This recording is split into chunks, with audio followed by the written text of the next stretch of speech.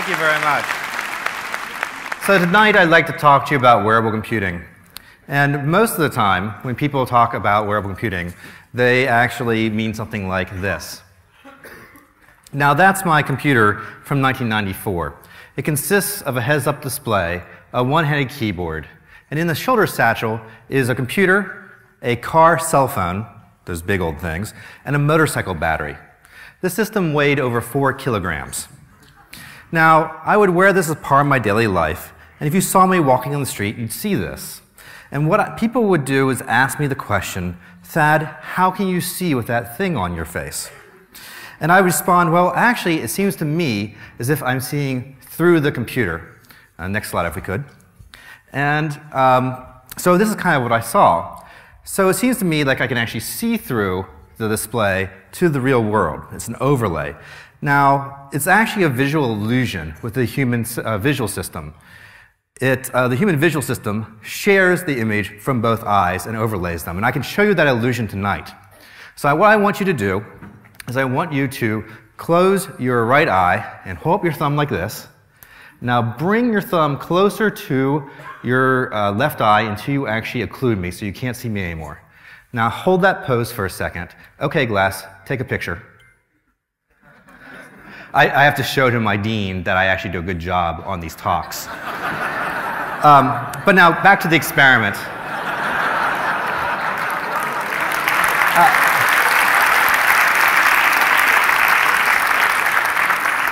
back to, back to the experiment at hand. So you have your right eye closed, you have your, your, your thumb up, you're occluding me, and now open your right eye, and suddenly it seems like you can see both your thumb and me at the same time.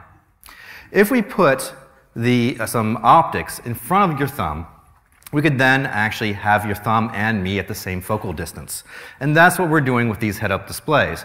We're making it so you can see both the text or graphics or whatever, and the real world at the same time. Now, Fortunately, over the next uh, uh, few years, in 2013, we have something much different. This is Google Glass, what I'm wearing tonight. And Glass actually has a transparent display. When I actually, I'm going to come up here and abuse the front row. When you actually look in my eye here, you can actually see my people through the display. Right?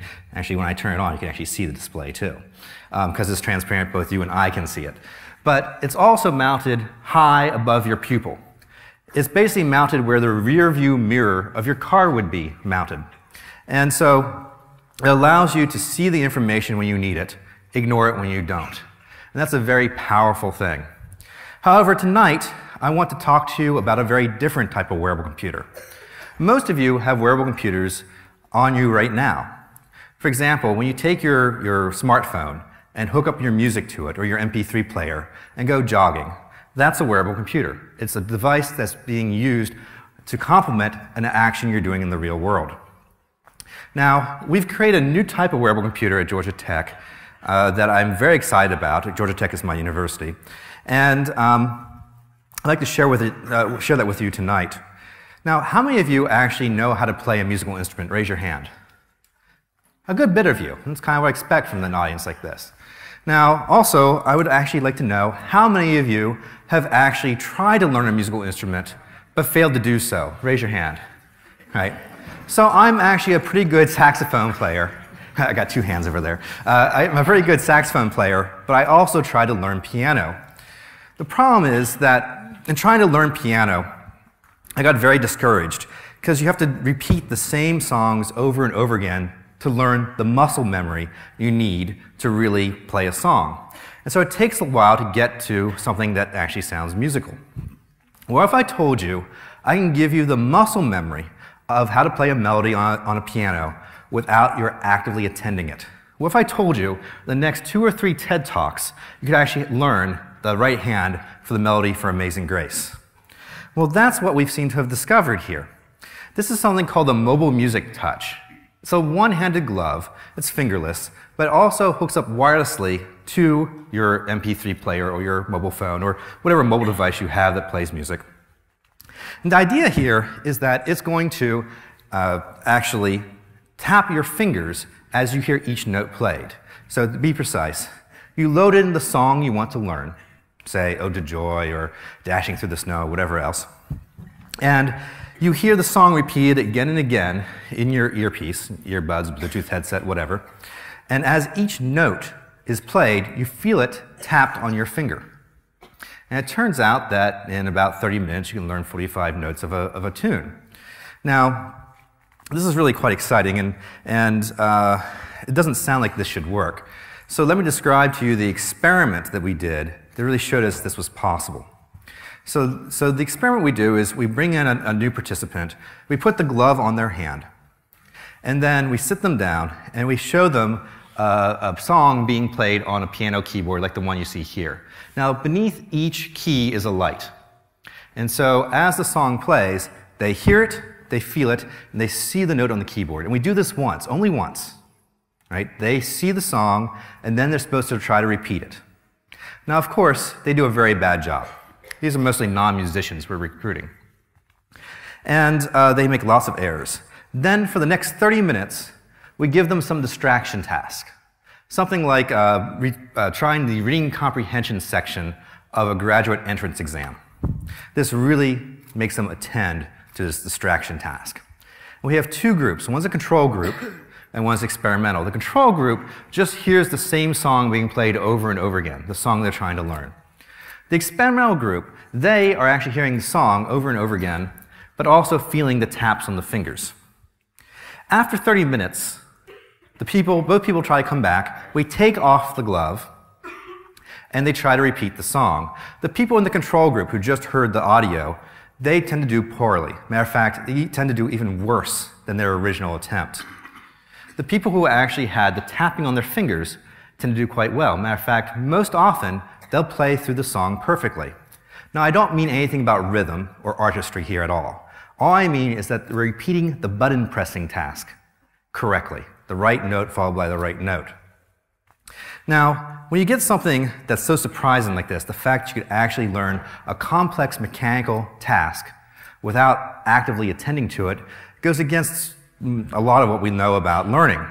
So we did the experiment five more times uh, on th with three different sets of grad students on two different continents. And what we did is try to find all the different ways we could extinguish the effect, all the different distractors that might affect it. And so we had people watching video while they felt the, the thing tapping on their fingers, uh, reading email. We had people doing the ma solving mathematical equations on the graduate entrance exam. We had people doing a scavenger hunt, thinking that the mechanical motion might mask the hand movement, and they couldn't, they couldn't actually get the effect that way.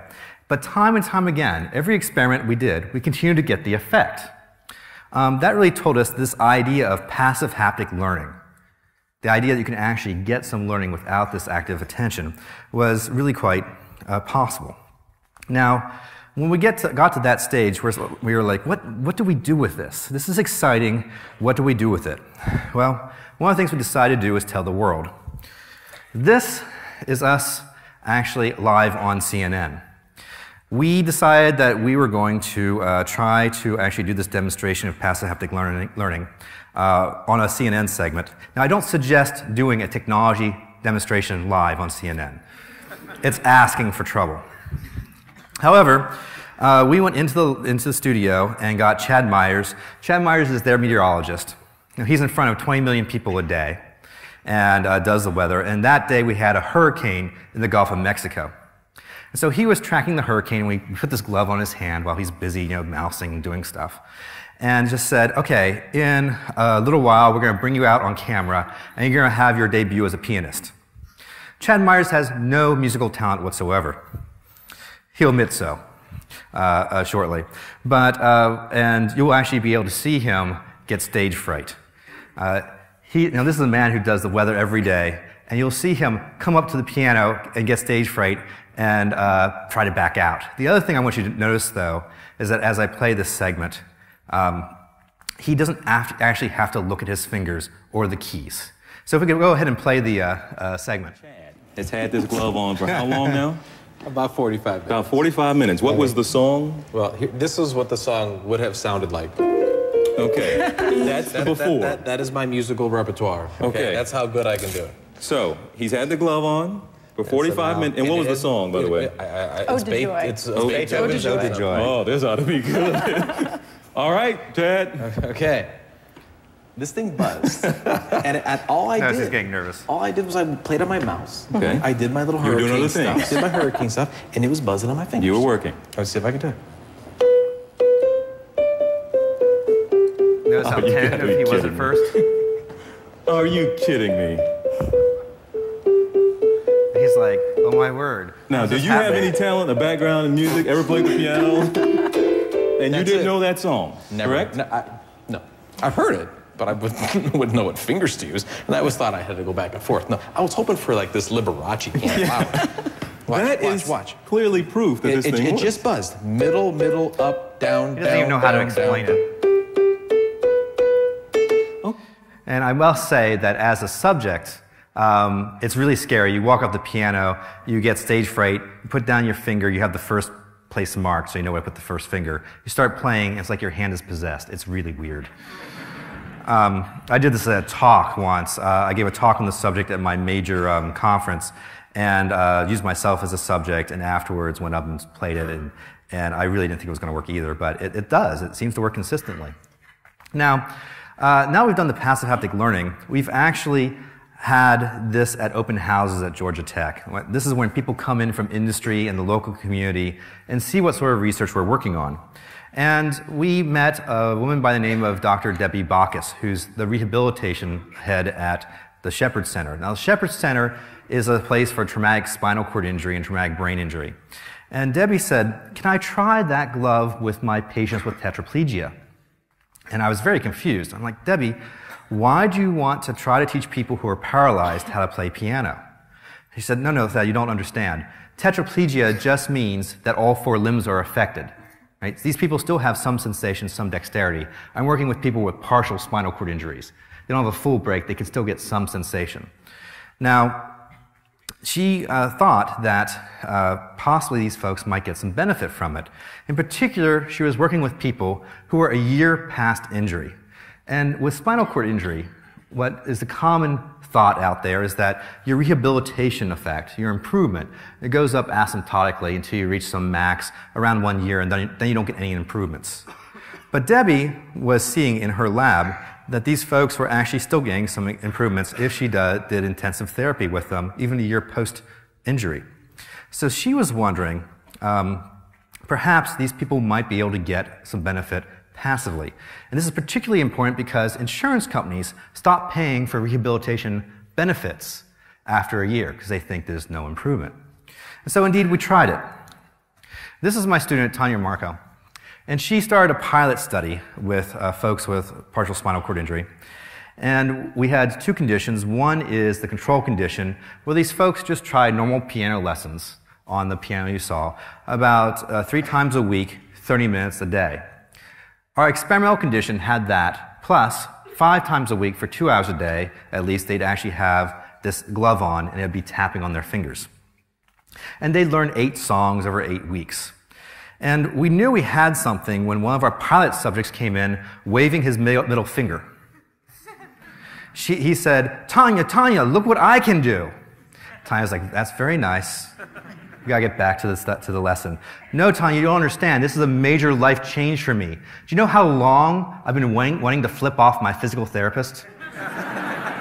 Tanya's like, yes, that, that's, that's very nice. I, I get it. It's like, no, no, you don't get it. When I came in here, my hands were clawed like this. And I couldn't articulate the fingers separately. Now I can. You need to test this. You need the middle finger test. And so we are like, oh, yeah, you're actually right. Um, and so we started paying attention to these things. And here are some of our results. This is something called the Semmes-Weinstein uh, straw test. I, I won't bore you, bore you with the details. But on the left hand, on the right hand side, you can actually see the control group. Now, red means decline. Green means improvement. Now, on the right hand side, we get the sort of random results you would expect from a control group. From the left hand side, the people who actually had the glove on for 10 hours a week, they showed significant improvement across all areas we tested. And that was quite, quite encouraging and quite a surprise. Again, these are people one year post injury. And even better yet, when you look at the types of improvement they're getting, they actually cross these qualitative boundaries that people use when they're talking clinically about these types of injuries. We had people who actually could not feel it if they cut themselves. Right? They could bleed and not know they're hurt. And so having them cross the boundary between loss of protective sensation and just diminished protective sensation was a big deal. You can see some people transition from diminished sensation to actually normal. And so we had people crossing boundaries, and this was very exciting to us. Now, this is not, now, the other thing to notice here is that there's a trend. The people who started out the lowest had the most improvement. Now, this is not statistically significant. This is, this is just a trend of the data. But we're very encouraged by this for the future. Now, what's even more encouraging to us is the idea that uh, this actually can help our folks in their daily lives. We had people coming in who couldn't button their own buttons. They left the study being able to dress themselves. We had people who came in typing with one finger. They went out typing with four. So we could actually see real changes in these folks' lives. Now, there's a lot of questions left over. Will these people actually uh, have continue these improvements? For that matter, will they continue playing piano? Will they continue this sort of rehab? But we're very encouraged by the last bit because for some for our subjects, they said it's not rehabilitation, it's gaining a new life skill. One of our pilot subjects said, Hey, guys, can you actually hook me up with happy birthday? And we said, Sure, why? I'd like to play, play happy birthday to my grandson. And so by the end of the week, he could actually play this song for his grandson. And for these folks, because it's music, it's not rehab, it's something they may actually continue working with in the future. And that's very exciting to us. Now, here's the challenge I have for, for all of you here. We've shown this effect called passive haptic learning. We're pretty sure it works. Uh, we have a first study on passive haptic rehabilitation. The question is, what's next? What can we do next with this? So, could we help people learn how to type? Could we help people uh, recover from stroke. Most of us have family members who've actually been affected by stroke. Perhaps we can do passive, passive haptic rehabilitation for them. Could this help for MS or ALS? Where's the limits of this technique? If you actually learned a song, how long will you retain it? When we were doing another clip for CNN, they asked one of our subjects, Rick, who you saw there, uh, to come in and play Beethoven's Ode to Joy, the whole thing, not just a simple little clip, clip we did for live television. And Rick said, I don't, I don't know if I can do that. Let me try. He tried it and, and failed. He couldn't remember it. But we put the glove on for 10 minutes. And in 10 minutes, it all came back to him, which really kind of says that maybe there can be some extended learning here.